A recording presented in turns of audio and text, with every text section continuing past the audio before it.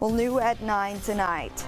The ransomware attack on UT Health East Texas is still being felt. Not only on the hospitals, but patients too. One woman tells us the daily cancer treatment she was receiving are no longer a sure thing. Fox 51's Nolan Hoffman spoke with the family about what they're experiencing. And Nolan, what did they tell you?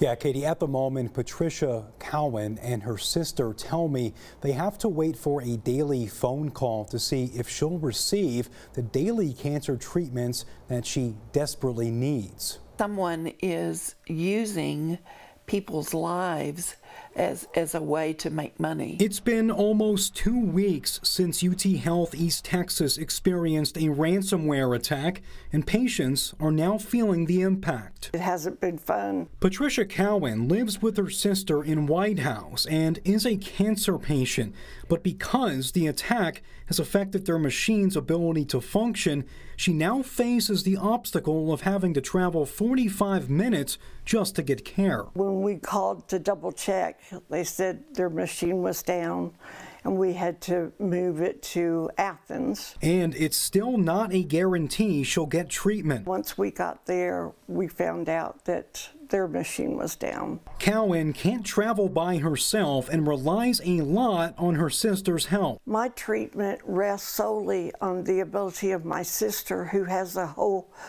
who has a full-time job. Her sister says it's making her career tough at times. I'm out longer from work and it means me bringing things home and getting up at 4 o'clock in the morning. The family says the UT health staff continues to do all they can. They all have been as kind as they can possibly be. UT Health East Texas telling us in a statement today, quote, safely caring for patients remains our highest priority. If the money is what they're after, they should consider other ways of making money, I think.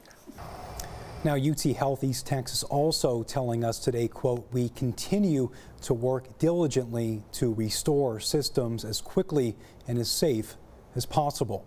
In studio, Nolan Huffman, Fox 51 News.